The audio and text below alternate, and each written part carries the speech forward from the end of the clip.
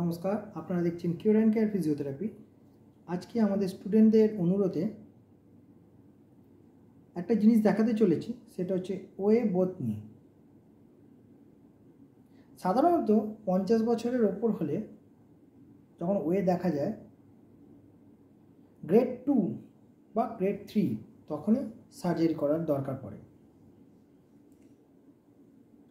কিন্তু grade one বা grade two যদি পঞ্চাশ বছরের নিচে হয়, সাধারণত অপারেশন করতে ডাক্তাররা সাজেস্ট করেন না। আজকে দেখাতে চলেছি ওয়ে বতনি একটা পেশেন্টের হয়েছে, তার ম্যানেজমেন্ট ভিডিওটি পুরোটা দেখুন। আমরা একটা ভিডিওর মধ্যে সম্পূর্ণ জিনিসটা বলবার চেষ্টা করেছি এবং বোঝানোর চেষ্টা করেছি। ভুল ত্রুটি থাকলে মার্জনা করবেন। আমাদের একটা মডেল দেখানো রয়েছে। এই মডেল এটা সামনে পোর্শন এখানে প্যাটেলা আছে। যেটা এখানে দেখলে এখানে প্যাটেলা আছে। এর ওপরে ফিমার বোন এটা। তলায় আছে টিবিয়া এবং ফিবুলা। এই দুটো। এখানে আছে। টিবিয়াটা সাধারণত উপরে থাকে, ফিবুলাটা পেছনে থাকে। এই যে নিটা, এই বোনসের মধ্যে মাঝখানে থাকে কাটলেজ সাইডে থাকে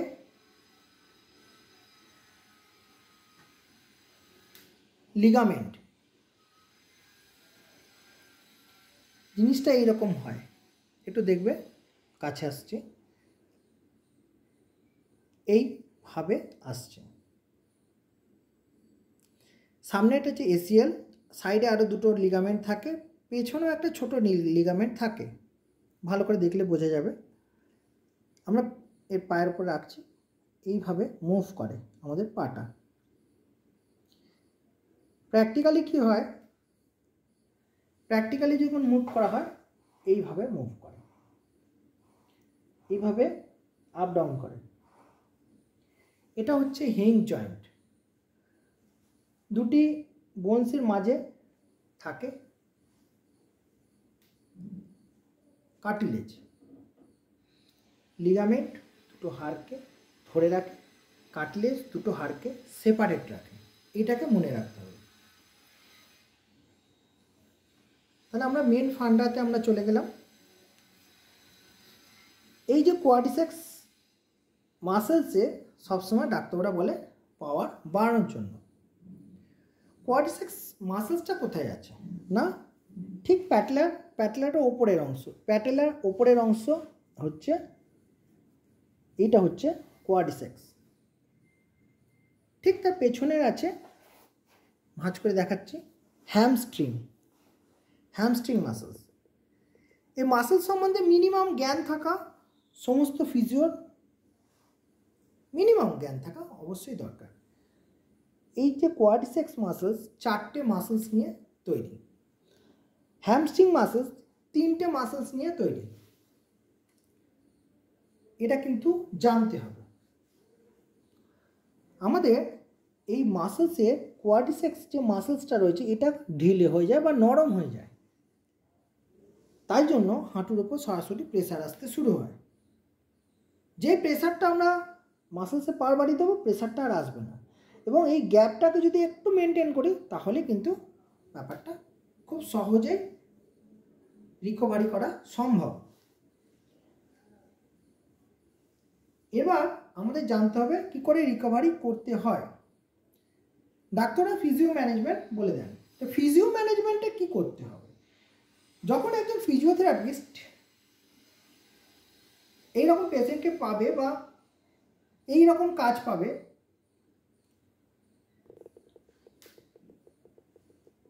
কি করতে হবে? না মোবিলিটি দিতে হয়। কীভাবে মোবিলিটি দিতে হয়?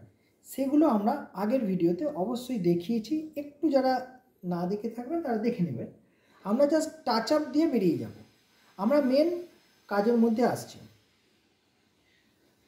আমাদের এইরকম প্রত্যেকটা জয়েন্টকে মুভ করাতে হবে। আমরা কি করে করব? না, একটা কিছু তলায় রেখে দিলাম, রেখে দিয়ে আস্তে করে মুভ করাবো। তারপরের অংশটাও করব এইভাবে। আমরা খুব ধরে ধরে করছি না, শুধু দেখানোর জন্য করছি। এইভাবে আমরা ঠিক করে দেখানোর জন্য দেখাচ্ছি, এইভাবে মুভ করাবো। পজিশানিংগুলো একটু জাস্ট করানোটা দেখাচ্ছি অরিজিনাল কাজটা দেখাচ্ছি না অরিজিনাল ভিডিও যদি দেখতে হয় তাহলে আমাদের পুরনো ভিডিও ইউটিউবে অন্য যে ভিডিও চ্যানেল রয়েছে, ওই চ্যানেলে দেখবেন, আমাদের দুটো চ্যানেলের মধ্যে কোনো না কোনো চ্যানেলে আমরা পুরোটাই দেখানো আছে এক্সারসাইজ থেরাপি আমরা শুধু আজকে ওয়েটাই দেখাবো এবং যাতে অপারেশন না করতে হয় সেরকম অবস্থায় তার ম্যানেজমেন্টটুকুনি দেখাচ্ছি। আমরা এবার পরপর দেখাতে চলেছি। আমাদের এই হাঁটুটা নিয়ে আসতে হবে। এই হাঁটুটা হবে এখানে তলায় না একদম মাটিতে রাখা চলবে না। কিছু না কিছু তলায় দিয়ে একটুখানি উঁচু করে দিতে হবে। উঁচু করে দিয়ে আমরা আস্তে করে ভাঁজ করব, সোজা করব, ভাঁজ করব, সোজা করব। এটা হচ্ছে এক নম্বর। দু নম্বর পা ওঠাবো।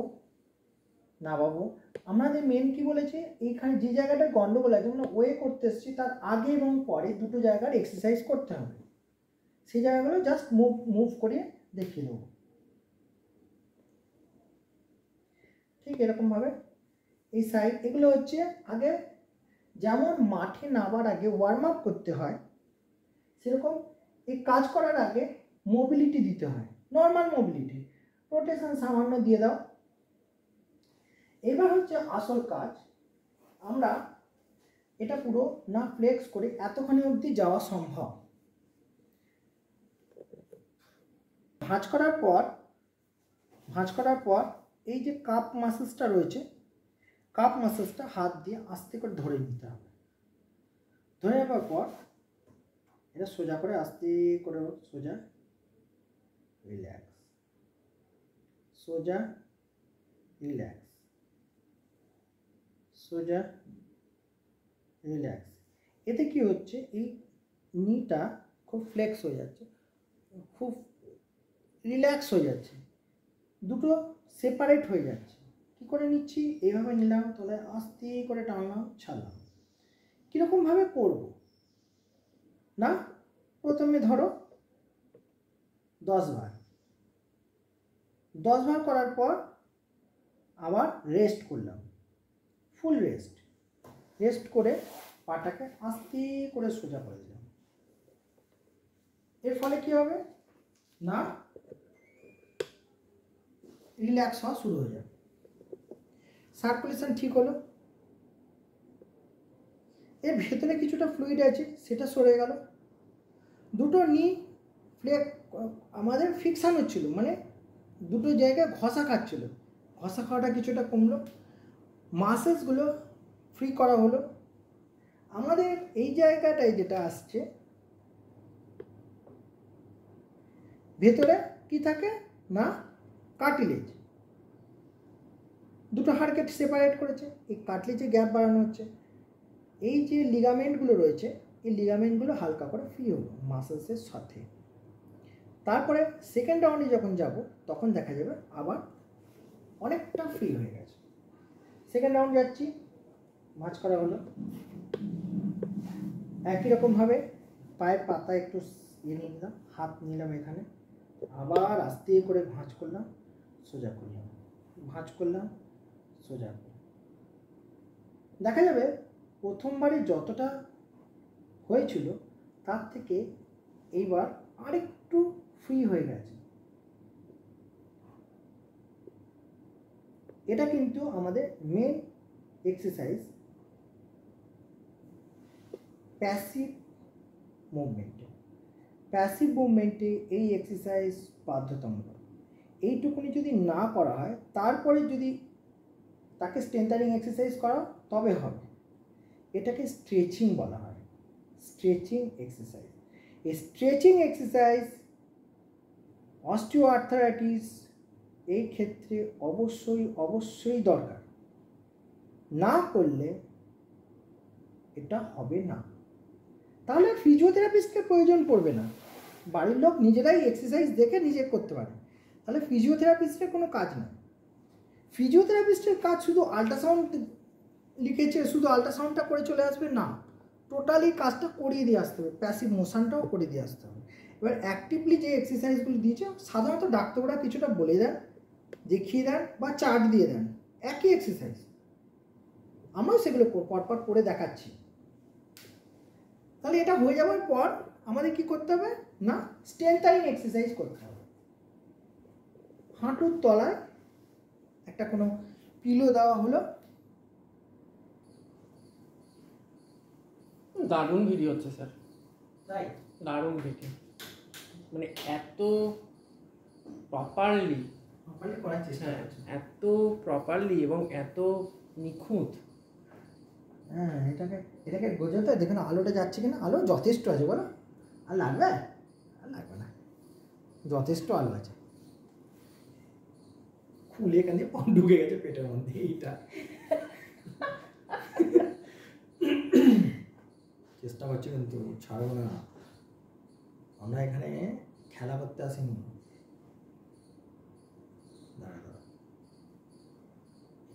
খুলে চলে যাচ্ছে তো এটাকে। আমরা এবার দেখাতে চলেছি যে কি করে মোবিলিটি এক্সারসাইজ করতে হবে নিয়ে।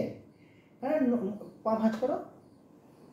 পাটা যে ভাঁজ করা হচ্ছে, এ সোজা করা হচ্ছে, সে কিন্তু খুব একটা ভালো করে ভাঁজ করতে পারবে না। তো আমাদের মার্কেটে এরকম টুলস পাওয়া যায়। এই টুলসের উপর পা ভাঁজ সোজা করো। ভাঁজ করো। ভাঁজ তাহলে কি হবে? এটা আমাদের এইভাবে যদি সাপোর্ট দেওয়া হয় ভাঁজ সোজা ভাঁজ সোজা, এবার আমরা একটুখানি স্ট্রেংথানিং করব, সোজা। আমরা এগুলো ধরছি। ভাঁজ ভাঁজ ভাঁজ, আমরা আটকাচ্ছি। সোজা সোজা সোজা, যতটা টলারেবল কন্ডিশনে আছে সহ্য করতে পারে ঠিক ততটাই। এভাবে মুভ করাতে পারি।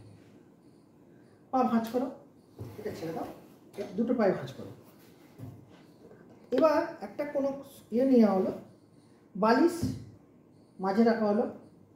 এটা আমাদের নিউরো ফিজিও রিহাব সেই কারণের জন্য আমাদের এখানে সমস্ত কিছু অ্যাভেলেবেল আছে।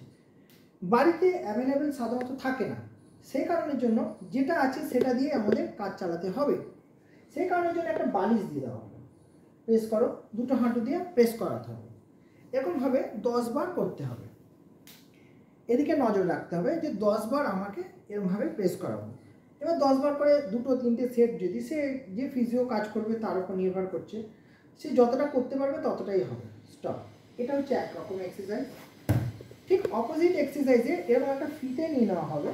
ফিতেটা নিয়ে এরকমভাবে বাঁধা হবে।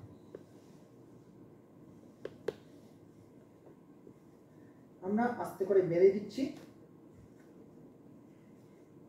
এবার বলতে হবে পা দুটোকে সোজা করতে। পা ফাঁক করো। ফাঁক করো। ছাড়ো। ফাঁক করে দশ গুণ এক, দুই, অন্তত চার, পাঁচ সেকেন্ড থাকো। হোল্ড করো। ছেড়ে দাও। আবার ভাঁজ করো। ছেড়ে দাও। এরকমভাবে দশ বার করে করা যায়। তাহলে সাইডে মাসেলসগুলোকে যে ব্যান্ড রয়েছে ব্যান্ডগুলো ঠিক হবে। ব্যান্ড দু রকমের আছে। সাইডে ব্যান্ড ভেতরের দিকে ব্যান্ড যেমন প্যান্টে সেলাই থাকে। দুদিকে সেলাই থাকে দুদিকে ব্যান্ড আছে। কিসে আছে? ব্যান্ড কিসে আছে? কোয়াডিসেক্স হ্যামস্ট্রিং এই দুটোকে সেপারেট করেছে ব্যান্ড এই ব্যান্ডেও অনেক সময় সমস্যা হয়। ব্যান্ডটাও ক্লিয়ার হয়ে যাবে। এটাও আমাদের এই এক্সারসাইজটাও করাতে হবে। এবার আমরা নেক্সট আসছি স্ট্রেন্থারিং এক্সারসাইজ এবার উঠে বসতে হবে। স্ট্রেন্থারিং এক্সারসাইজের দিকে আসছি। প্রথমে দেখতে হবে, পাটা উপরে তুলতে হবে। উপরে তোলো। ছেড়ে দাও। এটা ছেড়ে দাও। এটা ছেড়ে দাও। এবার এখানে আমাদের স্ট্রেংথ বাড়াতে হবে। তার জন্য আমাদের কিছু ওয়েট কাপ নিতে হবে। এটা ওয়েট কাপ এটা কোম্পানির ব্র্যান্ডেড যেহেতু এটা টাইনর কোম্পানির নেওয়া হয়েছে। সবসময় এখানে ওয়েট কাপে এখানে ওজন লেখা আছে, কত কিলো দিতে হবে। সাধারণত দু কিলো দিয়ে আমাদের এটা পাস করাতে হবে। প্রথমে দু কিলো না দিতে পারলে, সে যদি না নিতে পারে, তাহলে মার্কেটে পাঁচশো পাওয়া যায়, এক কিলো পাওয়া যায়, তারপরে দু কিলো। আস্তে আস্তে স্ট্রেংথ বাড়াতে হবে। এইভাবে লাগাতে হবে টাইট করে লাগাতে হবে, লাগিয়ে এটা রাখা হলো। এবার পা তোলো পাটার পজিশন থাকবে এই রকম পায়ের পজিশন ঠিক রাখতে হবে, এটা স্ট্রেট নামাও। তোলো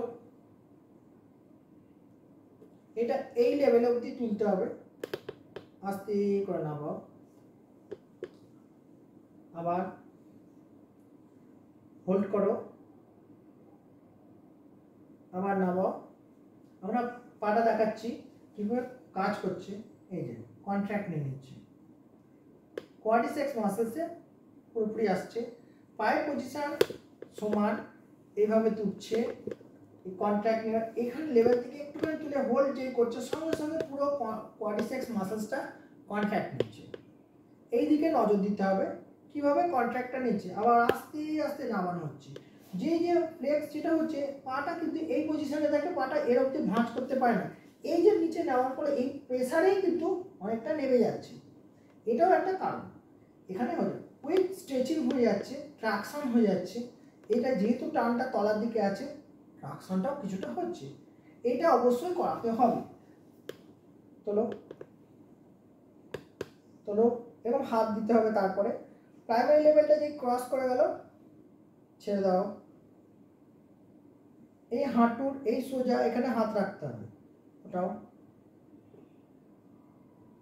হোল্ড করল, ছেড়ে দাও এইভাবে দুটো পাতেই আমাকে যদি কন্টিনিউ করা যায়, এভাবে